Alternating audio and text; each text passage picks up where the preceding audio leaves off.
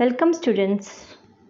Today we will start our new chapter Clean Together. In this chapter we read about cleanliness and their importance. Let's start the chapter Clean Together. In our school, 2nd October was being celebrated as Gandhi Jayanti. On this day, cleanliness campaign was being conducted on throughout India under Clean India campaign. Sunita partici- participated actively in this campaign.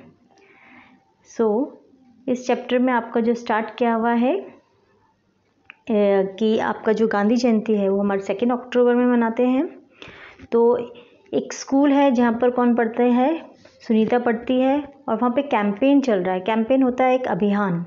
और अभियान क्या चल रहा है हमारा? उनका अभियान क्या चल रहा है? क्लीन इंडिया कैंपेन चल रहा है। जो क्लीन इंडिया कैंपेन है, अभी भी हमारे पूरे देश में चल रहा है। और ये जो क्लीन इंडिया कैंपेन था, ये 2014 से स्टार्ट हुआ था, नरेंद्र मोदी जी, जो हमारे प्राइम मिनिस्टर हैं, उन्होंने स्टार्ट किया था। तो इनके स्कूल में भी जब गांधी जी जयंती थी सेकेंड अक्टूबर को। तो उस दिन उन्होंने अपना क्लीन इंडिया कैंपेन स्कूल में स्टार्ट किया, जिसमें सुनीता ने पार्टिसिपेट किया था। क्लियर तो इस इस कैंपेन का मेन जो मकसद है, जो एम है, वो है कि सफ़ाई करना। हर जगह, जहाँ पर भी आप रहते हैं, उसके आसपास की सराउंडिंग्स में एरियाज़ में सफ़ाई रखना व करना। तो ये कैंपेन कहाँ चला था इनके? स्कूल में चला था। किसके स्कूल में चला था? सुनीता के स्कूल में चला था, ठीक है? After the campaign ended Sunita observe that the school was looking very beautiful अब स्कूल में जब कैंपेन हुआ था सब बच्चों ने मिलकर कहा कि देखो, नीचे आपकी एक पिक दी हुई है, जिसमें बच्चे क्या कर रहे हैं? सब लोग स्कूल में सफ़ाई कर रहे हैं। कोई झाड़ू मार रहा है है ना? तो कोई कोई डस्टिंग कर रहा है। और क्लास भी देखो कितनी नीट एंड क्लीन सी इन्होंने दिखाई है। तो हम लोग को करना चाहिए ना अपनी क्लास वगैरह को नीट एंड क्लीन ऐसा नहीं कि सिर्फ़ हमको अपने घर में ही सफ़ाई करनी चाहिए, हमको बाहर भी जाके अपने स्कूल में भी सफ़ाई वगैरह करनी चाहिए। तो सेम ऐसे ही स्कूल, सुनीता के स्कूल में भी क्लीन इंडिया कैंपेन चला था, जिसमें सुनीता ने पार्टिसिपेट किया था। तो उसके बाद सुनीता ने ऑब्ज़र्व किया ऑब्ज़र्व मतलब उसने देखा कि उसका जो स्कूल है बहुत अच्छा और बहुत सुंदर लग रहा था। After reaching home Sunita told her mother about it and said mother I will help you in cleaning our house अब सुनीता जब घर में पहुँची तो उसने अपनी मदर को कहा कि मदर मैं भी आपके साथ घर की सफ़ाई में योगदान दूँगी और सपोर्ट करूँगी। क्लियर क्योंकि उसने देखा साफ़ करके, सफ़ाई करके बहुत अच्छा सा लगता है। स्कूल भी बहुत सुंदर हो गया था। तो उसको लगा मुझे घर में भी सफ़ाई करनी चाहिए। अब देखो हमें लिखा ना student cleaning their school premises premises होता है वो एरिया जहाँ पर स्कूल पूरा एरिया स्कूल का सारा एरिया तो बच्चे वहाँ पर सफ़ाई कर रहे हैं और क्लीन क्लासरूम क्लियर ये आपको पिक्चर में दिख रहा है। Do you no Swachh Bharat Abhiyan clean India campaign जिसे इंग्लिश में कहते हैं is a campaign run by government of India to clean the street roads and the infrastructure of the of the countries four thousand forty one statutory towns and cities the campaign was officially launch on second October two thousand fourteen at Rajghat New Delhi by honorable prime minister narendra damodar das modi. अब ये थोड़ा सा आपको बता रहे हैं कि do you no आप जानते हैं कि जो स्वच्छ भारत अभियान है, जो क्लीन इंडिया कैंपेन कैंपेन मतलब अभियान होता है, ये गवर्नमेंट ऑफ़ इंडिया जो इंडिया की हमारी जो सरकार है, इसके द्वारा चलाया जा रहा है और इसका जो मेन एम है to clean the streets streets मतलब हमारी जो गलियाँ हैं, उनको साफ़ रखना है रोड्स को साफ़ रखना है। इंफ्रास्ट्रक्चर होता है, जो भी पब्लिक में, जो अपने बड़ी बड़ी बिल्डिंग्स वगैरह खड़ी हैं पब्लिक प्रॉपर्टीज़ हैं और इनको साफ़ रखना है है ना? और जो हमारे, चार हज़ार फोर्टी वन जो हमारे टाउन्स एंड सिटीज़ हैं, कस्बे और जो शहर हैं, उस एरिया को क्लीन रखना। तो द कैंपेन जो है, ये ऑफिशियली लॉन्च हुआ था सेकेंड अक्टूबर 2014 को।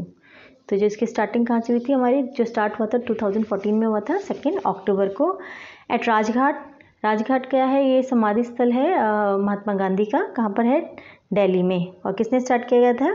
बाय जो हमारे ऑनरेबल प्राइम मिनिस्टर हैं, नरेंद्र दामोदर दास दामोदर दास मोदी द्वारा ये स्टार्ट हुआ था। तो जब भी क्लीन इंडिया कैंपेन चले तो आपको एक तो याद रखना है डेट याद रखनी है किसकी सेकेंड अक्टूबर 2014 में हुआ था और इसको किसने started by our prime minister Narendra Modi. Clear चलिए। अब उसकी बात है after some days when Sunita was going to school she saw heap of garbage in the locality she did not like it in the school she discuss it with her friends Sunita said that we kept our school homes etcetera clean but the street were kept dirty अब ये क्या है? कुछ दिनों बाद जब school से ये घर को जा रही थी गोइंग स्कूल जा रही थी सुनीता, अब सुनीता इज़ अनदर गर्ल तो ये सुनीता घर जा रही थी तो उसने क्या देखा कि एक क्या है? गार्बेज का ढेर है। किसका ढेर है? गार्बेज का एक ढेर है। गार्बेज होता है हमारा कचड़े का ढेर है। हीप होता है ढेर। तो कचरे का ढेर है और वो कहाँ पर है? उनकी लोकेलिटी लोकेलिटी होती है जहाँ पर वो सुनीता रह रही थी। जिस एरिया में हम लोग रहते हैं, उसे हम लोग लोकेलिटी कहते हैं। तो उसको पसंद नहीं आया। डिड लाइक इट वो उसको पसंद नहीं आया। तो उसने क्या कहा? स्कूल में गई, अपने डिस्कस किया, अपने फ्रेंड के साथ। जैसे हमें भी कुछ चीज़ अच्छी नहीं लगती या कुछ चीज़ बहुत अच्छी लगती है तो हम अपने फ्रेंड्स के साथ डिस्कस करते हैं, बताते हैं उनको, यार, मैंने ऐसे देखा था, वैसे देखा था। तो सेम विद सुनीता। उसने भी अपने फ्रेंड्स के साथ डिस्कस किया। ठीक है ना? तो सुनीता ने कहा कि हम लोग क्या अपना जो घर वगैरह है, उसको, घर को, स्कूल को तो हमने क्लीन कर लिया, करते हैं और करा है। बट जो स्ट्रीट्स हैं, जो भी जितनी भी अपनी गलियाँ वगैरह हैं, वो सारी क्या हैं? वैसी की वैसी ही गंदी हैं, है ना? What was the use of such cleanness तो उसका क्या फ़ायदा हुआ? अगर हम लोग ने, मैंने अगर सपोज़ अपना घर साफ़ किया और वो कूड़ा उठा के मैंने बाहर फेंक दिया तो मेरा उस घर की सफ़ाई का क्या हुआ? तो सेम वे सुनीता ने भी कहा, हमने अपना घर और स्कूल तो क्लीन कर लिया, पर जो हम लोग की स्ट्रीट्स हैं, गलियाँ हैं, जहाँ से हम आ रहे हैं, जा रहे हैं, वो सारी क्या गंदी हैं। तो ये हमारा कोई भी what was the use of such cleanness तो हमारी सफ़ाई का कोई भी फ़ायदा नहीं रहा। प्रतीक एट वंस इंटरप्टेड अब प्रतीक उसका एक और जो क्लासमेट्स है, उसका फ्रेंड है, उसने इंटरप्टेड किया, बीच में रोका उसको। This is not our work ये हमारा काम नहीं है। What can we do about it हम क्या कर सकते हैं इसका? अब मोस्टली हम लोग का भी जवाब यही होता है, अगर मैं किसी को बोलूँगी, देखो कितनी गंदगी हो रखी है तो सेकंड वाला वन वो सेकंड वन बोलेगा, यार, ये हमारा काम नहीं है, ये तो काम गवर्नमेंट का है कि गवर्नमेंट ही सफ़ाई करवाए. बट हमको ऐसा नहीं करना चाहिए। जैसे हमको अपना घर साफ़ करना होता है, घर सफ़ाई रखते हैं, ऐसी हमें आस पड़ोस का भी अपना एरिया को सबको साफ़ रखना चाहिए। ये नहीं कहना चाहिए कि हमारा काम नहीं है। क्यों? ये स्ट्रीट है जो जिसमें हम लोग चलते हैं, वो हमारी नहीं है क्या? ये रोड्स वगैरह जो हम लोग यूज़ करते हैं, जितनी भी पब्लिक प्रॉपर्टीज़ हम लोग यूज़ करते हैं बस ट्रेन्स वगैरह तो इसका क्या है? इसका हम लोग गवर्नमेंट हमसे ही पैसा लेती है तो हमारा ही हो गया है एक तरह से, है ना? और गवर्नमेंट भी अपना खैर देती है इसमें योगदान तो वो चीज़ हम लोग की होगी तो हमको उसको पब्लिक प्रॉपर्टी को अपना मान के इसकी सफ़ाई रखनी चाहिए, उसे गंदा नहीं करना चाहिए क्लियर अब इसमें लिखा है कि do this also make a list of the things from the domestic garbage which can be reuse make some useful things from cardboard paper polythene etcetera अब ये कह रहे हैं, हम लोग को जो डोमेस्टिक गार्बेज है डोमेस्टिक होता है जो घर से जो निकला हुआ हमारा कूड़ा है है ना? उसका उनसे हमें एक लिस्ट बना लीजिए आप कि उससे कैसे क्या चीज़ों को हम लोग रीयूज़ कर सकते हैं। तो ये आपका एक तरह से होमवर्क भी हो जाएगा क्वेश्चन आपका कि आपको ऐसी एटलीस्ट टेन चीज़ें तो लिखनी हैं जो हम लोग घर से जो गार्बेज निकला है, उसका फिर से रीयूज़ कर सकते हैं। जैसे उन्होंने एग्ज़ाम एग्ज़ाम इन्होंने लिखा है जैसे जैसे कार्डबोर्ड पेपर पॉलिथीन इनसे हम लोग और क्या क्या चीज़ बना सकते हैं। तो आप घर में सोचिए पेपर का आप क्या यूज़ कर सकते हैं? कार्डबोर्ड्स निकलते हैं, उसका क्या यूज़ कर सकते हैं? पेन होल्डर्स बनाते हैं हम लोग, बहुत सारी चीज़ें हैं। पेपर से भी हम लोग डेकोरेटिव आइटम्स बनाते हैं फ्लावर्स वगैरह। क्लियर पॉलीथीन से भी लोग फ्लावर्स बना रहे हैं, नीचे अपना जो मैट होता है फुट मैट बनाते हैं पॉलीथीन से। तो इस टाइप की चीज़ें आप लोग को at least ten things you have to write in your notebook चलिए फॉर एग्ज़ाम्पल अब नीचे एग्जाम्पल्स भी देखें। Make a dustbin by using waste carton of cardboard which use in packing अब देखो, इसमें इन्होंने बोला है फ़र्स्ट तो इन्होंने कहा डस्टबिन बना सकते हैं हम लोग, है ना? जो हमारा कार्डबोर्ड से हमारे जो पैकिंग के होते हैं, उसमें से निकले हैं। Make a duster rope carpet out of the old clothes और डस्टर बना सकते हैं हम लोग, रस्सी बना सकते हैं हम लोग। कारपेट पे नीचे जो मैट्स वगैरह फुट मैट्स हो गए और कारपेट हमारे जो बिछाने का मैट वो हो गया। जो पुराने कपड़े होते हैं उनसे। बनाते भी हैं कई लोग, पुरानी साड़ियाँ, वाड़ियों से अपने कारपेट्स वगैरह बनाते हैं, वो हम लोग बना सकते हैं। और डेकोरेटिव आइटम्स बना सकते हैं। यूजिंग चॉकलेट रैपर्स चॉकलेट के रैपर से हम लोग कुछ डेकोरेटिव जो सजाने का सामान होता है, वो बना सकते okay this is your homework that you have to write at least ten things which is make by reused garbage. Okay let's go further. Do you know? Has it ever, has it ever pained us that our mothers and sisters have to defecate in the open? अब ये है defecate एक word है, इसमें defecate होता है washroom जाना toilet जाना।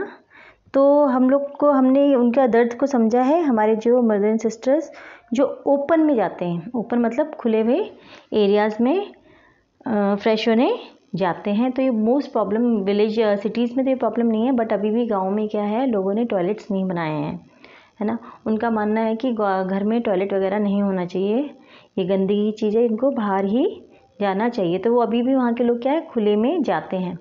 तो लेडीज़ के लिए बड़ी प्रॉब्लम हो जाती है, जो विमेन विमेन हैं, उनके लिए बहुत प्रॉब्लम हो जाती है। एक तो वो क्या होता है, सुबह का जो अपना, सुबह सूरज निकलने से पहले ही वो डेफिकेट होने के लिए बाहर खेतों में या जंगलों की तरफ़ जाती हैं तो उनके बहुत सारी प्रॉब्लम है। कई बार जंगल में कोई जानवर भी रहते हैं छोटे मोटे कीड़े हैं, वो भी काट सकते हैं अंधेरे में। तो और एक प्रॉपर अपनी जो नींद का टाइम है, वो भी उनका डिस्टर्ब सा रहता है। तो तो इसके लिए क्या है कि जो हमें टॉयलेट है, वो कहाँ बनानी चाहिए? अपने घरों में ही बनानी चाहिए। अब तो क्या है गवर्नमेंट भी क्या करती है सपोर्ट कर रही है विलेजेस को कुछ पैसा देती है कि कुछ पैसा आप डालिए, कुछ पैसा हम दे रहे हैं। आप अपने घर में क्या बनाइए? टॉयलेट बनाइए। और ये जो ओपन में है लोग जो जाते हैं वो उसको बंद करिए, ठीक है?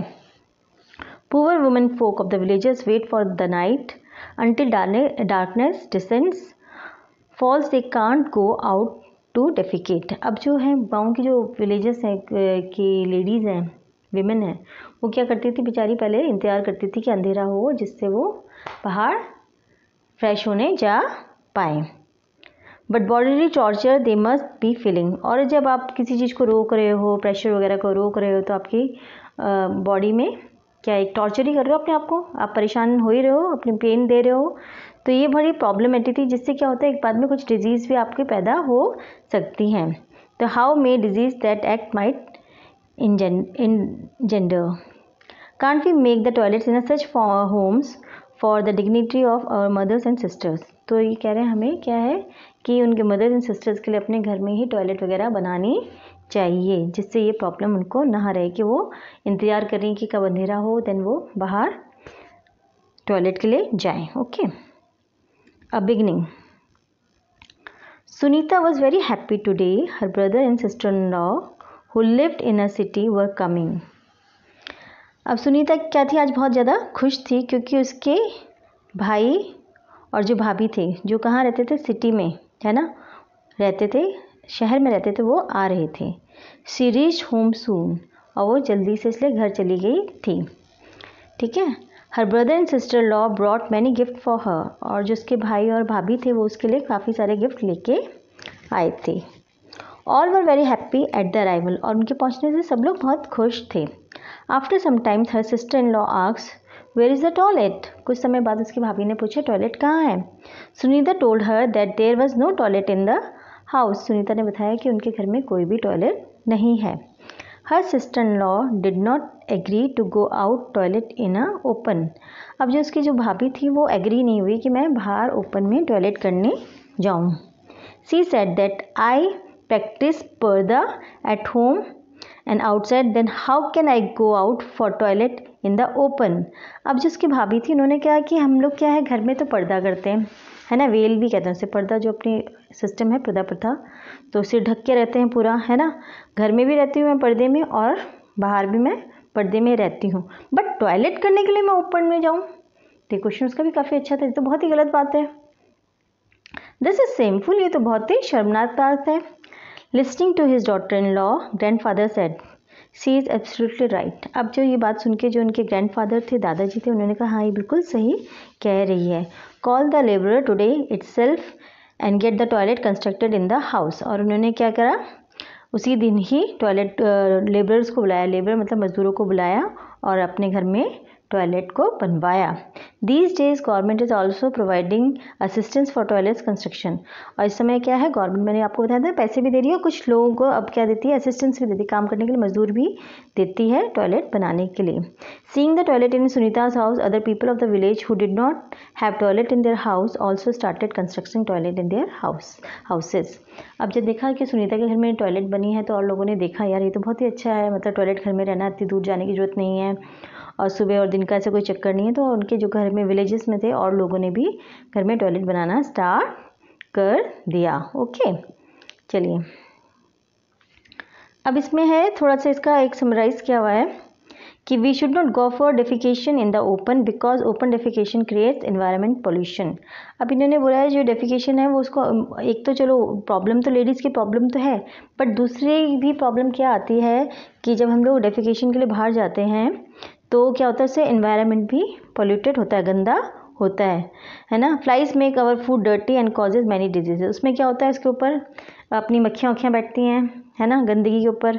और वही फिर वो खाने में, वही मक्खियाँ फिर आपके खाने में भी आ जाती हैं, और जिससे आपका खाना गंदा हो जाता है और फिर बीमारियाँ होती हैं। By eating this food we may catch many disease और ये खाना हम लोग खाते तो हमें हो गई नेचुरली हमको डिज़ीज़ ज़रूर होगी। So for for escaping from all these we should use toilet for defecation और हमें इस चीज़ से बचने के लिए हमें हमेशा डिफिकेशन के लिए क्या यूज़ करना चाहिए? टॉयलेट वगैरह यूज़ करना चाहिए। Okay cleanliness must be our habit not show off cleanliness है, वो हमारी आदत होनी चाहिए, ना कि शो ऑफ़ नहीं होना चाहिए। Show off in the sense हम दिखाने के लिए करते हैं। जैसे हमको ऐसा लगता है कि हम लोग बाहर तो क्या है, कभी हम लोग क्या होता है, घर में भी मतलब कोई आता है तो हम लोग उसके सामने अपना रैपर उठा के उसमें डालते हैं डस्टबिन में डालते हैं, या कोई आता है तो हम लोग अपना घर तो पूरा क्या कर देते हैं, सजा देते हैं चक्का चक्कर लेते हैं कि कोई आएगा तो बोलेगा, इनका घर कितना साफ़ है। बट वही कचरा हम लोग घर के बाहर छोड़ देते हैं या बगल वाले में डाल आएँगे। तो एक तरह से आप शो ऑफ़ कर रहे हो, आप दिखा रहे हो कि हम सफ़ाई रखते हैं बट आप सही में सफ़ाई नहीं रखते, अगर आप सफ़ाई रखते तो आजू बाजू हर जगह एरिया साफ़ रखते हैं। आप हर चीज़ को अप्लाई करते अपने इसको हैबिट में डाल दो। तो हम लोग को इस चीज़ को हैबिट में डालना अगर हमने कुछ एक केला खाया है तो उसका छिलका भी हमको जाकर डस्टबिन में डालना चाहे हम लोग रोड पे हैं, चाहे हम स्ट्रीट में हैं, चाहे हम स्कूल में हैं, चाहे हम घर में हों। तो एक हैबिट आपकी जब भी बन जाएगी फॉर्मेशन हो जाएगी तो आप जब भी कभी खेला खाएँगे तो आप हमेशा डस्टबिन ढूंढेंगे डस्टबिन कहाँ है?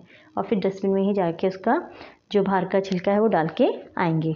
तो cleanliness must be our habit तो क्लीननेस जो है हमारी हैबिट होनी चाहिए। We can make some resolution to make cleanliness our habit तो उसके लिए हमें कुछ रेजोल्यूशंस बनाने होंगे। रेजोल्यूशन होते हैं, संकल्प लेने पड़ेंगे हमें, है ना? कि जिससे हमारी हैबिट ये बन जाए। सबसे पहला होना चाहिए we will not throw papers pencil shavings paper of toffees etcetera in our class सबसे पहले हमें इस क्लास से स्टार्ट करेंगे कि हम लोग पेपर को नहीं फेंकेंगे, हम लोग ने पेपर फाड़ा एंड देन हम लोग फेंक देते अपने बेंच के नीचे या डेस्क के नीचे, वो गलत बात है। पेंसिल के जो बाहर के शेविंग्स कहलाते हैं, जो पेंसिल के बाहर की जो हम लोग इसको छिलते हैं तो उसके जो कवर निकलते हैं, वो शेविंग कहलाती है। तो वो हम लोग क्या करते हैं, जहाँ पेंसिल अपन शार्पन करते हैं तो वहीं फेंक देते हैं उसको। रैपर ऑफ़ टॉफ़ीज़, वो भी टॉफ़ीज़ भी खाई और रैपर नीचे फेंक दिया। तो सबसे पहले ये चीज़ हमको नहीं थ्रो करनी we will not throw all this thing in our class हमको ये सारी चीज़ें अपनी क्लास में नहीं फेंकनी we will not write on the walls floor और furniture and will not make them dirty और सबसे दूसरी बात है, हम लोग को क्या है, सबसे गंदी आदत होती है लिखने की. हमारे हाथ में पेन पेंसिल कुछ भी आ जाएगी, घर की वॉल भी हमने भरी होती है, कुछ ना कुछ लिख के, कुछ ना कुछ पिक्चर बना के. सेम विद स्कूल में भी हम ऐसे करते हैं, अपने डेस्क टेबल में उसमें पेंसिल पेन चलाते रहेंगे. हमें पता ही नहीं चलता हम क्या कर रहे हैं वॉल्स में कुछ ना कुछ लिखते रहते हैं. तो ये सब चीज़ें हैं, वो हमको क्या करती है वॉल को डर्टी करती हैं, ये हमको नहीं करना। वी विल नाइदर स्पिट और स्प्रेड लिटर एवरीवेयर और ना ही हमको थूकना है कहीं पे, और ना ही लिटर होता है कचरा, उसको कहीं फैलाना है। Clear come to the come number four we will take we will take bath daily and put on clean and and tidy clothes हम लोग को क्या है? नहाना रेगुलर चाहिए। अब हमने आसपास से घर बार साफ़ कर लिया सराउंडिंग क्लीन कर ली स्कूल साफ़ कर लिया, पर हम अपनी बॉडी की सफ़ाई नहीं की, तब भी हमारा क्लीननेस जो हमारा मोटिव है, वो नहीं होगा। तो उसके लिए हमको एवरी डे हमको क्या लेना पड़ेगा? शार लेना पड़ेगा और अपने अपने को साफ़ करना पड़ेगा और साथ में अपने जो कपड़े पहने हैं, वो भी हमारे नीट एंड टाइडी हों क्लीन हों clear we will not make use of plastic bag सबसे पहले अगर हमने प्लास्टिक बैग्स को अवॉइड कर लिया तो आधे से ज़्यादा हमारा जो गार्बेज है वो वैसे ही कम हो जाएगा। क्योंकि प्लास्टिक एक ऐसी चीज़ है जो हमारी बहुत जल्दी से डिकम्पोज नहीं होती। डिकम्पोज मतलब जो हमारी मिट्टी में नहीं मिल पाती। है ना? और सारी चीज़ें हैं। जैसे हमने अगर कोई सपोज़ जूट बैग यूज़ कर रहे हैं पेपर बैग्स यूज़ कर रहे हैं तो कुछ टाइम बाद अगर आप उसको देखो, आप इसको सॉइल में छोड़ दो तो कुछ टाइम बाद वो खुद ही मिट्टी बन जाएगा। पर प्लास्टिक बहुत जल्दी से मिट्टी नहीं बनता, उसे बहुत साल लगते हैं। तो इसलिए हमें प्लास्टिक बैग्स को यूज़ करना ही छोड़ देना चाहिए।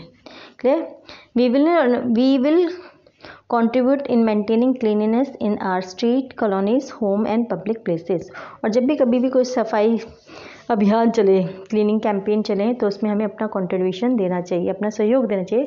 चाहे थोड़ा बहुत ही आपने कचरा उठा के फेंक दिया, सफ़ाई कर दी, कुछ भी, चाहे वो स्ट्रीट की हो, अपनी कॉलोनीज़ की हो, या पब्लिक प्लेसेस कोई भी स्कूल पब्लिक एरियाज़ कहीं पे भी होगा आपका।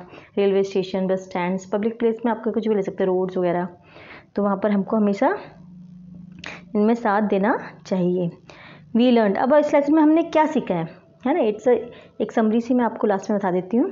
हमने क्या जो सीखा है cleanliness is necessary to remain healthy अगर हम लोग सफ़ाई रखेंगे और सफ़ाई रखनी बहुत ज़रूरी है, अगर हम लोग चाहते हैं हम लोग हेल्दी रहें। क्योंकि अगर आसपास सफ़ाई नहीं होगी तो डिज़ीज़ हमको घेर लेंगी। We should maintain our cleanliness our selves और जो क्लीनिनेस है, उसको हमको खुद ही मेंटेन करना है। ऐसे नहीं कि कोई हमको रोज़ टोके या क्लास टीचर बोले कि, आपको ये साफ़ करना है, आपको वो साफ़ करना है। या मदर घर में बोले, बेटा, आपको ऐसे करना है, ऐसे नहीं करना। वो हमको हैबिट बनानी है। हमको खुद ही इन चीज़ों को साफ़ रखना है। Cleanliness should not be maintain to impress someone instead it must be became our habit और क्लीननेस ऐसी नहीं कि हमको किसी को इम्प्रेस करना है कि मैं इसलिए साफ़ सुथरा रहता हूँ कि मैं अच्छा लगूँ, ये लगूँ। ये हमारी हैबिट मान जाना चाहिए। Clear we should use toilet and should not go for open defecation और वही है, मैंने आपको पहले बताया था कि हमें टॉयलेट का यूज़ करना चाहिए, बाहर डेफिकेशन के लिए बाहर नहीं जाना चाहिए। तो now your chapter is finished thank you